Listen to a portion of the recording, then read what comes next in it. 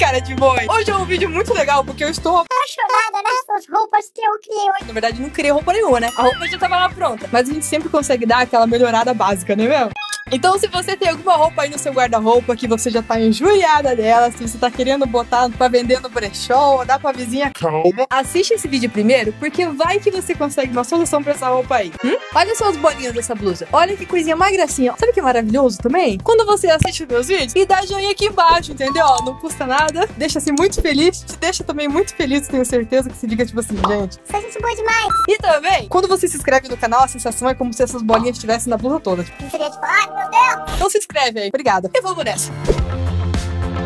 Essa blusa aí? Essa minha cara de feliz? É uma blusa tão sem graça, tão triste, tá faltando um pouco de amor no coração dela. Vocês não acham? Eu acho. Então vamos dar um jeito aí. Já tô vestindo a blusa e eu peguei um giz branco e eu marquei aonde fica o meu cotovelo. Então eu fiz um xizinho ali e eu sei que é nessa parte que eu vou colocar o amor nessa blusa. Então, tirei a blusa, botei outra, né? Pra nós não ficar nudes assim, gravando vídeo.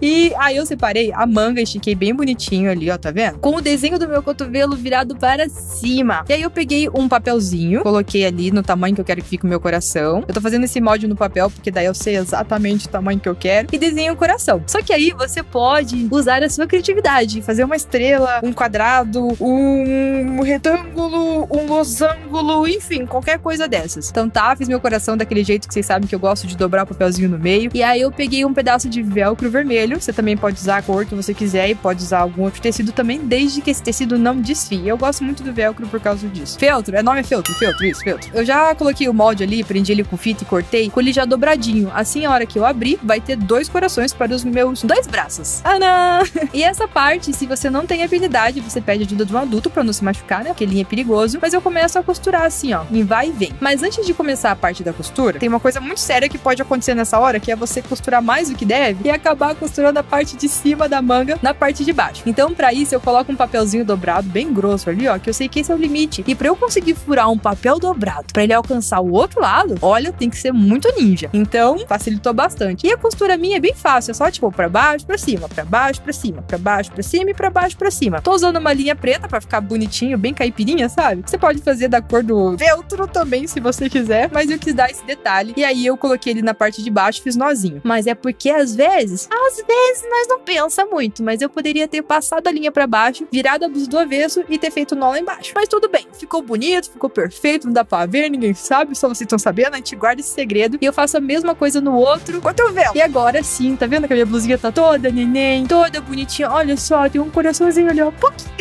É uma blusinha cheia de amor. Olha só que coisa mais linda. Estou orgulhosa dessa blusa. Estou apaixonada por ela. Vou fazer isso em todas as minhas blusas a partir de hoje vão ter coração no cotovelo. Porque o mundo precisa de mais amor, por favor. É isso.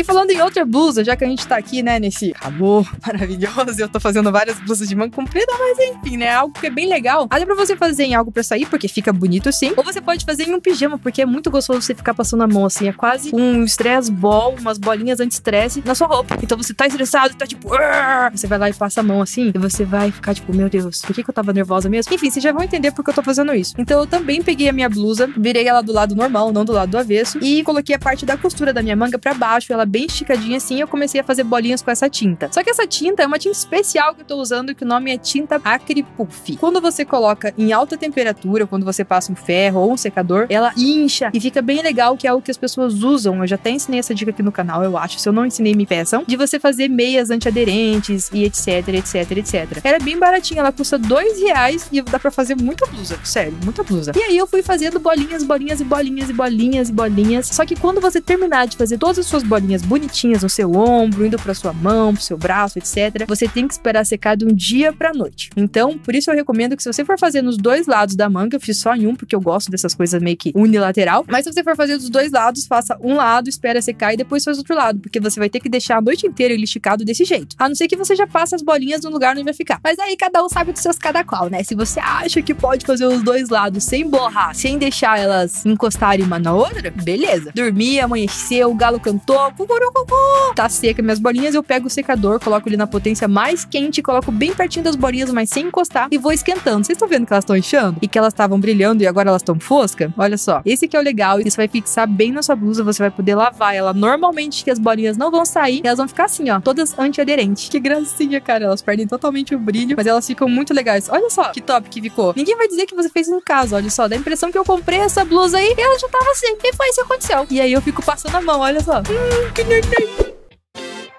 Esses dias eu tava na loja comprando shorts, que eu gosto muito de shorts assim, e aí eu reparei uma coisa. Eu tenho bilhões de shorts iguais. Tá bom, não são bilhões, deve ser uns três. Mas eles são todos iguais. E esse daí, por exemplo, vocês já viram muito, quem me segue no Instagram, que eu já usei 300 bilhões de vezes. E eu fiquei assim, cara, todos os meus shorts são jeans, são básicos, são tudo igual. Então vamos dar uma cara, uma personalizada nele. E para isso eu tô usando fita crepe e eu tô fazendo essa listrinha aí certinha, tá vendo? Se você tem uma dificuldade para achar a medida, para deixar tudo certinho, usa uma régua para você ver se tá da mesma altura lá em cima, mesma altura lá embaixo. Eu usei como referência o meu negócio de passar cinto ali. Além de fazer essas listras que eu vou pintar no meio, eu também vou fazer um casinho, porque, né, K de Kim, K de coisa mais linda. Então eu deixei um quadradinho ali, ó, pra ficar esse espaço pra eu fazer o meu K depois. Agora, pra pintar, eu vou usar uma dessas esponjinhas aí, ó, de lavar louça mesmo, limpa, preferência, né? E eu vou separar, e aí eu lembrei que se eu deixar assim, eu vou acabar manchando a parte de baixo e a parte de cima. Então eu peguei a fita crepe e cobri toda a parte que eu não quero pintar. Inclusive a parte ali de cima e a parte do passar o cinto, que eu não sei o nome. Agora eu tô usando tinta para tecido, que é essa que é a mais fácil de encontrar, que você compra em qualquer lugar e provavelmente, se pá, você já vai ter na sua casa. E eu tô passando branco, mas você pode fazer uma combinação e fazer um lado de uma cor, um lado de outro, fazer um short inteiro de listra, por que não, né? Cara, achei maravilhosa essa ideia. Vou fazer no próximo vídeo. Mas continuando, eu vou dando batidinhas ali, ó, com a tinta, e na hora pode até parecer que tem umas falhinhas do lado, que ele não pegou bem, mas é isso aí mesmo, tá? Não esquenta não. Na hora que você tirar, vai ficar uma coisa bem retrô, bem Tumblr, assim, bem bonitinha. Se você achar que os cantinhos ainda estão meio azuis, não se preocupe que vai dar tudo certo. Eu pinto tudo ali, menos a parte que eu separei que eu não ia pintar. E aí eu espero secar. Para garantir, deixa secar algumas horas, uma ou duas horas, pelo menos para ele não se desmanchar o toque. E aí você pode tirar a fita. Então foi exatamente o que eu fiz, porque eu sou ansiosa e queria ver logo como é que ia ficar. Então eu tirei toda a fita. E nem pensei, só tirei. E aí eu pensei, cara, eu vou fazer o K agora, eu vou ter que botar a fita de novo. E aí eu coloquei a fitinha ali, ó, do ladinho, só naquela parte que eu deixei o espaço de Kim ali, ó, tá vendo? Pra eu poder ter uma noção mais ou menos de onde ia ficar o centro e onde eu tinha que grudar o meu K. Então, pra eu dar a mesma distância entre um e outro, eu coloquei o meu K ali e também grudei o K de assistência. Assistência é baratinho, gente. A maioria das pessoas já tem, que a gente usa em trabalho da escola, etc. Grudei ele pra ele não se mexer e também fui fazendo a mesma coisa, com tinta de tecido e com uma esponjinha de lavar louça eu fui dando batidinha. Esperei secar, tirei o stencil morrendo de medo, falando, meu Deus do céu. Mas no final ficou a coisinha mais linda, ficou muito thumb, ele ficou super personalizado e agora parece que eu tenho um short novo. É. Ah, mas é só um shortzinho muito neném. É só um short daqui. E o mais legal é que eu não vou emprestar pra ninguém, porque não faz sentido. Eu vou parar de falar com faz filhinha, porque não faz sentido uma pessoa usar um short K, né? Então você já se livra dessa responsabilidade.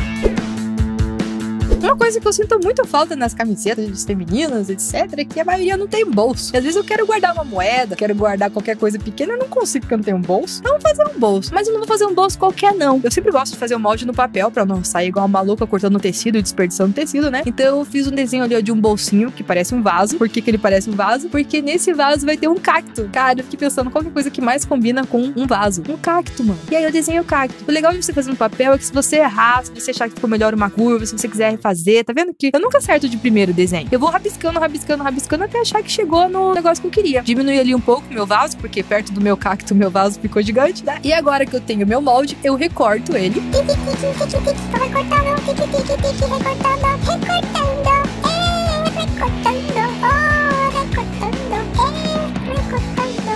Depois que eu recortei, olha só que legal, né, né, né? Eu vou separar o meu cacto do meu molde. E aí eu vou usar esse molde para recortar e fazer um vaso e um cacto. Desse jeito assim. Tanã! Agora eu tô pegando essa blusinha minha aí, que eu já usei bastante, até a roupa da Charlene, e eu vou começar a costurar. Para ele não sair do lugar enquanto eu costuro, eu passei uma fitinha crepe ali, mas quando eu chego na metade da costura, eu já arranco a fita crepe porque não precisa mais. E para recortar, eu tô fazendo esse passo a passo aí, ó. Eu coloco a agulha na parte de fora, passo pra parte de dentro, eu cuido para colocar na parte de fora certinho, onde começa o desenho do meu cacto. Não pode ser nem muito longe, nem muito dentro. E aí, quando eu vou tirar a agulha, eu passo por dentro da bolinha que ficou. E assim ele vai ficando com esse formato bem legal em volta, que é tipo aquelas costuras que vovó fazia, entendeu? Antigamente. E é bem simples, não tem erro. Vocês viram que eu coloquei o papel ali dentro também para não costurar um lado da blusa com o outro lado, né? Então essa é uma dica primordial para quando você vai fazer alguma coisa. Agora você precisa de muita paciência. Liga o seu canal favorito no YouTube, que é o Kim Rosa porque ela mais. e começa a assistir aí, vai escutando, coloca numa playlist para você ficar bem calmo e bem zen e fazer tudo isso até o final. Quando você terminar de costurar o seu cacto, agora você vai fazer exatamente, quase exatamente, a mesma coisa no vaso. Então você vai encaixar ele um pouquinho para cima da bordinha do cacto para não ficar aparecendo, né? Vai costurar, só que vocês estão vendo que eu deixei a parte de cima para você conseguir guardar suas moedinhas, porque é basicamente só isso que vai caber nesse bolso aí mesmo. Mas ó, que coisinha mais bonitinha, que coisinha mais linda. E o mais legal é que você pode costurar o desenho que você quiser. Agora que você já pegou a manha, que entendeu como é que funciona o negócio, que aprendeu a costurar, ou ensinou a sua mãe a costurar, ou sua mãe já sabia, enfim, agora que você já sabe para Mauê, você pode fazer vários tipos de bolso, ou mesmo que não seja um bolso, você pode decorar todas as suas blusas e deixar elas todas gracinhas desse jeito. 跳。